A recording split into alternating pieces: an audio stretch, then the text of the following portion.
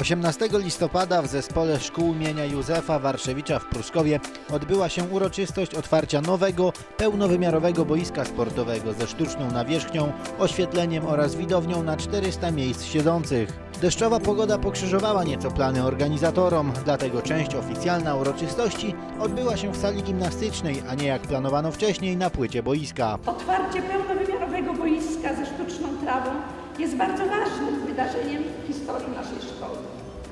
Powstanie tego boiska jest dowodem, że nasza szkoła się rozwija.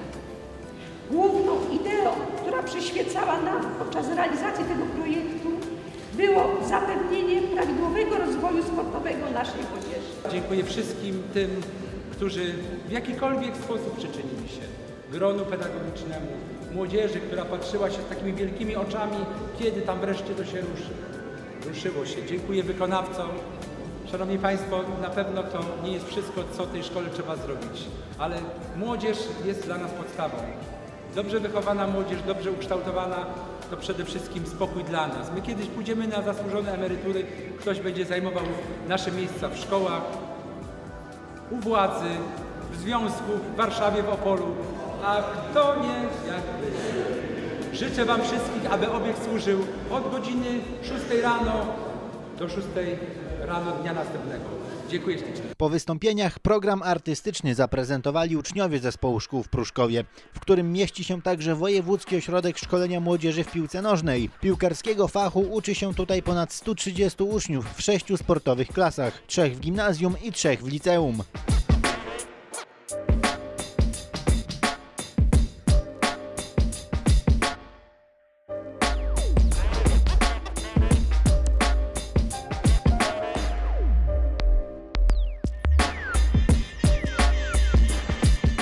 Przychodzimy do- rano do szkoły, mamy trening, później się normalnie kąpiemy i później mamy lekcje i po lekcjach znowu mamy trening do internatu, nauka własna i tak y, cały, cały tydzień. Kocham piłkę, jest to moja pasja, cel i będę robił to do końca życia. Umiejętności młodzi adepci piłki nożnej mogą teraz podnosić na nowym boisku. Symboliczną wstęgę obok starosty opolskiego i dyrektora szkoły przeciął prezes Polskiego Związku Piłki Nożnej Grzegorz Lato. Olbrzymi potencjał, to jest raz. Przecież tu jest jeden reprezentant kraju do lat 16. Yy, Tutaj z tej szkoły już paru wyjechało w świat, gdzie kluby pierwszoligowe, Ruch Chorzów, yy, Lech Poznań pozabierali do siebie. W związku z powyższym, no, widać, że to jest dobra praca z młodzieżą.